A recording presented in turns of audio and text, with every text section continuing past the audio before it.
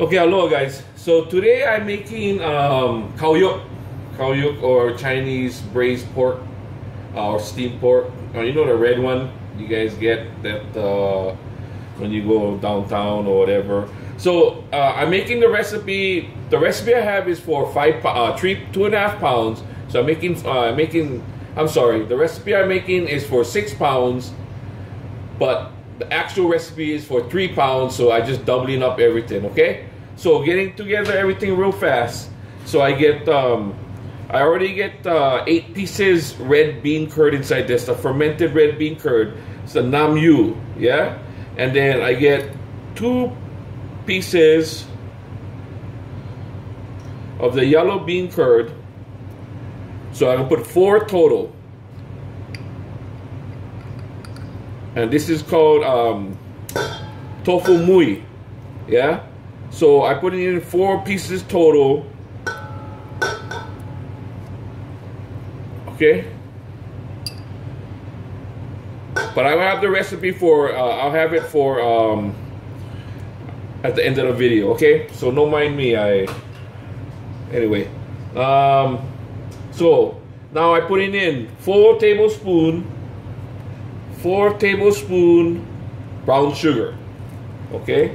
So dark brown, no matter. One, two, and four. Okay? Now, after the brown sugar, um, I get uh, two star anise. Okay, you know what is star anise? Yeah? Okay? Two star anise. And I get four tablespoon all day hoisin. Yeah, so everybody know what is hoisin. So here we go. One,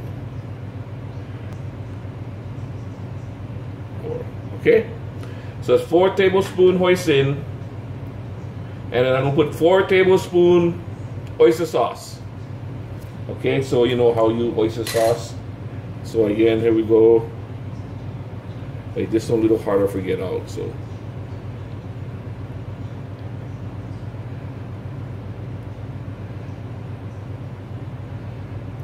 One, four.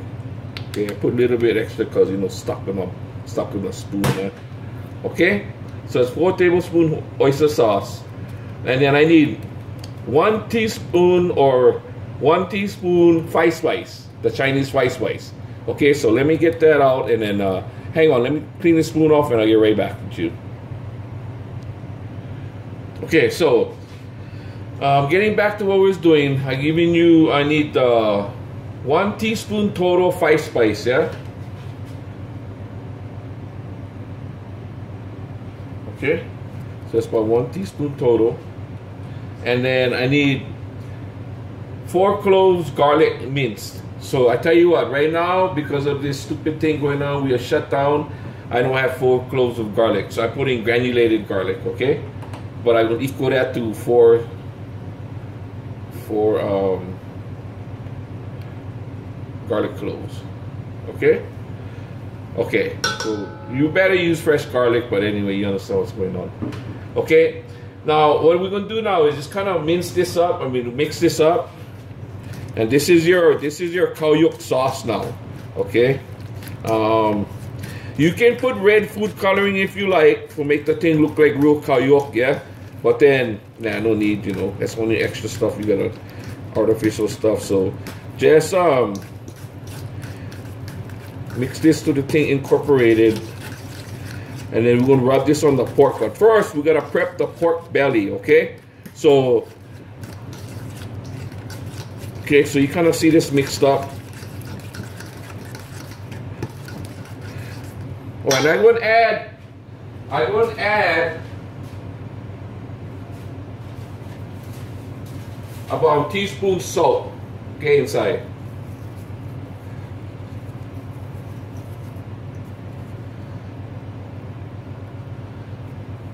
Okay, Let's get that mixed up.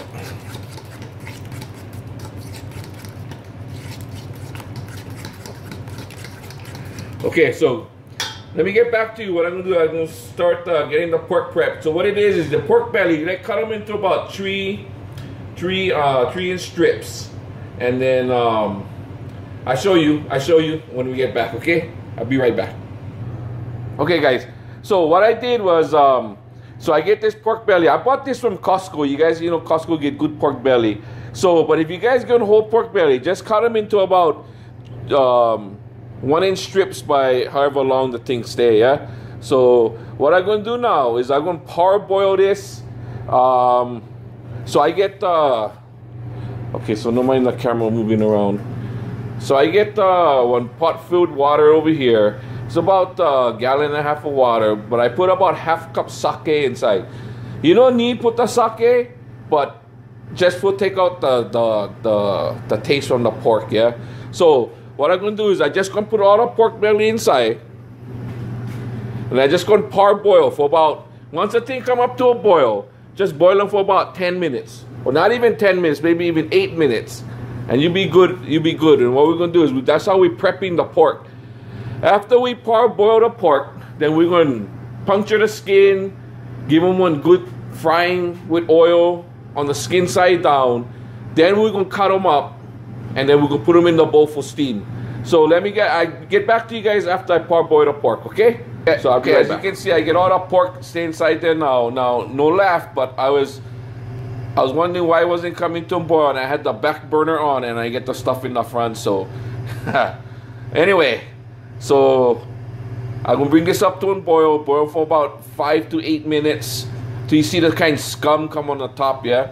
Then we're gonna take out the pork, dry them off, rinse them off, cool them down, and start poking the skin. So I show you that process in a little bit. All right. So I see. Okay, hello guys. So okay, so we've been parboiling this for about uh, seven, eight minutes now. So what I'm gonna do is I just gonna take them out of the pot. Okay. And I'm gonna I'm gonna wash them. I'm gonna run them under cold water and I'm gonna wash them. But just to show you guys the parboiling part, okay? Then as soon as I finish wash the pork, you gotta wash them good, okay? Just wash them, take off all the sediments and whatnot.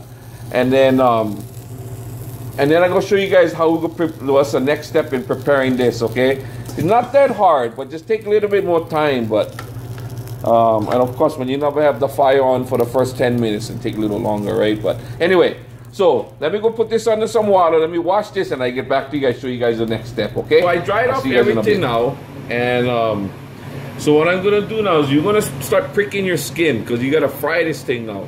So just get one like one toothpick or whatever point. And make sure you go deep into the skin, huh? Um, because you want the fat to render. Out. What you're doing is you're making it so when you fry this thing right now, the fat's gonna render out, okay? So I'm getting one phone call right now. Okay, here we go. So what I'm doing now is I just make sure I'm piercing the skin all the way around. Okay, so let me pierce all of this and um, show you what the next step is. I'll get back to you guys in a little bit, okay? Okay guys, so I pierced the skin like I showed you before. Now I get on pan with hot oil. And what I'm gonna do is I'm gonna lay these things down skin side down, okay? That's all you like is skin side down, okay? And we're gonna fry this thing till you get till you get uh, one nice uh, golden brown on the top. All right, and uh, and the skin is kind of crispy. You like the skin come kind of crispy because when you steam them, the thing not gonna break down as much. Gonna be soft, but not gonna break down.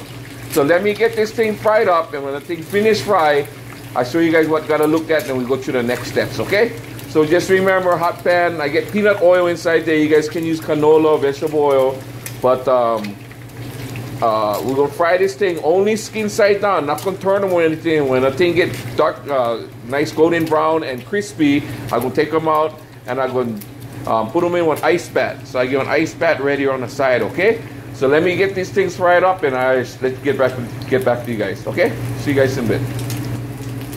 Okay, guys. So um, I don't know. Video looks kind of weird, but anyway. Um, so what I'm doing is I'm just taking it out and I'm putting it straight into the ice bath. Okay?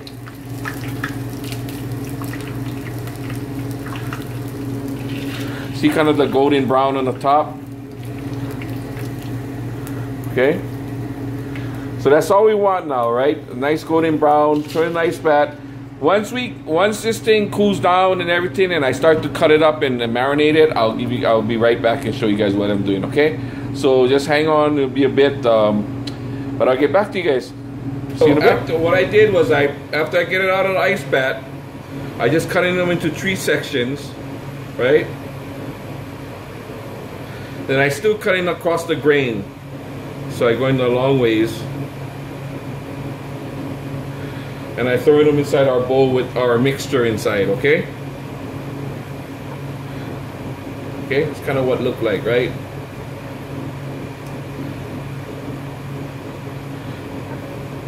Okay, so when you guys get this all chopped up, what I'm gonna do now is I'm gonna marinate this, okay? So we just give it a good mix. Make sure all your pork is marinated. Get them all over. Let me get my sleeve a little bit up. Get them all over. And what we're gonna do is we're gonna leave this sitting in this bowl for about 45 minutes. 30, it says 30 minutes, but 45 minutes would be all right. Um, just make sure it's all on every piece of the pork. Everything is all has something on it. You guys can stir it every once in a while. But let's keep it in there for about 40, 30 to 45 minutes. I'll get back to you in 45 minutes. Then I'll show you guys how to line this up and steam this. We're gonna steam this for about three and a half hours, okay? So just get, like I said, make sure everything is covered. Everything is good. And we'll get back to you guys in a little bit. So we'll let this sit here marinating for about 45 minutes, okay? I'll, I'll get back to you guys soon. Okay, guys. So I got them all from marinated. I got them all lined up um, in one bowl, and I'm uh, just gonna move them to the steamer. Now you guys can just make one bowl upside down for you guys, steamer or whatever, whichever way work for you guys. We'll just get them in one steamer. I get them in one upside down um, 600, uh, 400 pan inside one 600 pan, and then I just gonna use one of my Schaefer covers, and I cover them up.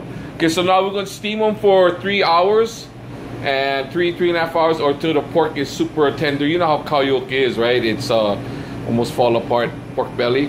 And uh, when we get to that point, we show you guys the final product. One important thing you guys gotta remember is make sure your water no run out, okay? When you guys steaming. So if you start to smell something burning, you know you ran out of water. So every once in a while, every half an hour, check your water, add water when you have to. Just don't let it run out especially if you guys at home, you guys will just make a mess on your stove. So uh, make sure you guys don't run out of water and uh, check them every half an hour. And we're going to do this for about three, three, three hours, 15 minutes. That should be enough for have it all tenderized and um, kau yuk. Everybody love kau yuk. So I should see you guys in a little bit. I'll show you guys the finished product, okay? I'll see you folks in a bit. Okay, guys, so this is the finished product. Um, it actually took only two hours. I think I had the steamer going on pretty high, but uh, usually it takes three at home. But I'm in my um, one of our one of our commercial kitchens, so um, since I didn't have much to do today, since we're all locked up and everything, I figure I'd make you guys some kau yuk. But um, I already put some out. It's actually it's, it's so it's super tender. It's fall apart tender already. Um, like I said, home it usually takes around three hours, but like I said, maybe I cut it a little thinner and and uh, I had the steamer on really high. So, but anyway, uh, you folks give this recipe a shot. You know, kau yuk. We grew up with kau yuk, um, and it's a taste of home. Or even if you're at home, just give it a shot. You know what I mean? You know, since no more Chinese restaurants open right now. Also, you guys can use pork butt. Um, I know a lot of people and a lot of Chinese restaurants back home in Hawaii uh, they use pork butt. So you can do that, but instead of steaming it in a bowl, kind of just braise it in your pot with with the um, with the sauce, and maybe we'll uh, make another video with that. Um, it does, you know, when you guys get it served, it's already nice, the kind. So I just have it. I still have it in a steaming side, so don't you know? It still kind of looks messy, but anyway, um, the flavor is there. The flavor is just what you remember back home or what you always remember now. Um, like I said, if you want to use pork butt, you can by all means just braise it in a pot instead of steaming it.